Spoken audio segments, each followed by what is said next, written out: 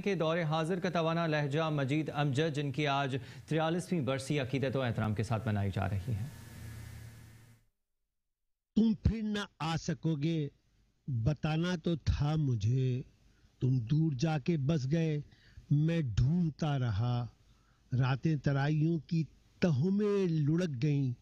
دن دلدلوں میں پھنس گئے، میں ڈھونڈتا رہا۔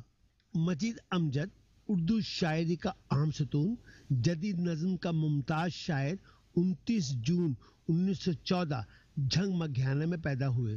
تعلیمی دور انیس سو تیس سے انیس سو چونتیس تک بی اے کی ڈگری حاصل کی۔ انیس سو پینتیس ملازمت کا سال انشورنس کمپنی سے ابتدا کی۔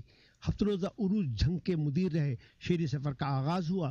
انیس سو چوالیس سے انیس سو بہتر تک فوڈ ڈپارٹمنٹ میں مختلف عہدوں پر فائد رہے۔ سائی وال جسے اس زمانے میں منٹ گمری کہا جاتا تھا، زندگی کا طویل عرصہ گزرا۔ دوستوں کا حلقہ بڑھا، شاعری پہچان بنی گلا اپنی شناخت کا رہا۔ نظم آٹوگراف کا یہ بن گواہ ہے۔ میں اجنبی، میں بے نشاں، میں پابا گل، نہ رفت مقام ہے، نہ شہرت دوام ہے۔ پہلا مجموعہ شب رفتہ، جس میں پندرہ غزلیں اور باقی سب نظمیں ہیں۔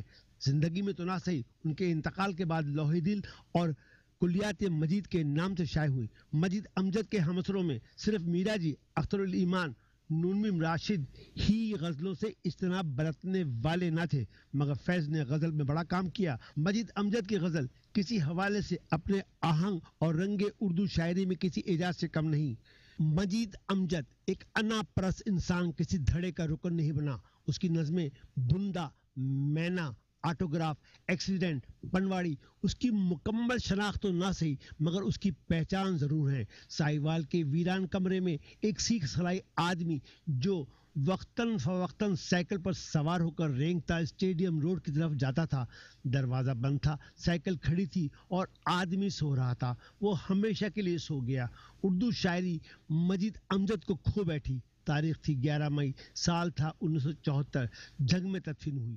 تڑک کے گرد کی رو سے اگر کہیں کچھ پھول کھلے بھی کوئی تو دیکھے گا، کون دیکھے گا؟